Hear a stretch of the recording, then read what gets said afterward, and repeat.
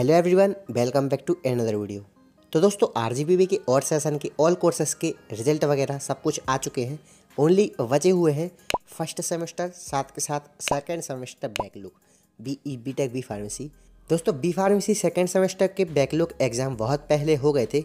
लगभग 65 to 70 days complete होने जा रहे हैं, लेकिन बैकलुक का रिज़ल्ट अभी तक नहीं आया है।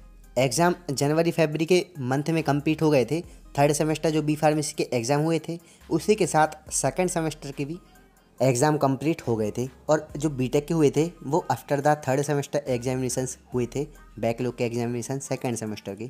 तो बी फार्मेसी का अभी तक नहीं आया है रिज़ल्ट तो कोई दिक्कत नहीं है, बहुत ही जल्द आ जाएगा। लेकिन यहाँ जो सेकेंड सेमेस्टर बैकलॉग जो कि बी फार्मेसी वाले हैं, उनका साठ से सत्तर दिन कंप्लीट होने जा रहा है लेकिन अभी तक रिज़ल्ट नहीं आया है। इवन सेमेस्टर के एग्ज़ाम जो कि लास्ट सेमेस्टर, सिक्स सेमेस्टर वालों के एग्जामिनेशन स्टार्ट होने जा रहे हैं लेकिन अभी तक और सेशन का second semester backlog examination result नहीं आया है। अब कुछ स्टूडेंट का बैकलुक का एग्ज़ाम भी अच्छा नहीं गया था, जिसके कारण वो लोग भी ये सोच रहे हैं कि बैक में बैक ना आ जाए और वहीं पर करंट सेमेस्टर एग्जामिनेशन की भी तैयारी करना है।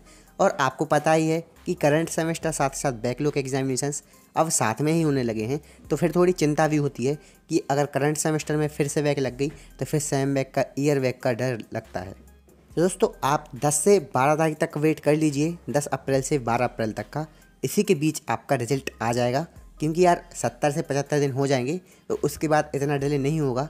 बाकी अगर दोस्तों 10 से 12 तारीख तक आपका रिज़ल्ट नहीं आता है तो फिर उसके आगे अपन कुछ प्रोसेस करेंगे, जिससे कि भाई आपका रिज़ल्ट जल्दी से आ पाए। और वी वालों का तो फिक्स है लास्ट वीक ऑफ़ अप्रैल के पहले ही आ जाएगा। क्योंकि आठ सेशन कंप्लीट करना है इवन सेमेस्टर के एग्ज़ाम स्टार्ट करना है।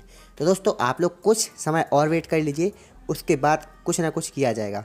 तो यार आई थिंक वीडियो इन्फॉर्मेटिव रहा होगा, आपका डाउट क्लियर हुआ होगा। तो अगर आप चैनल पर नए हो तो चैनल को सब्सक्राइब वीडियो कर दे like thank you so much for watching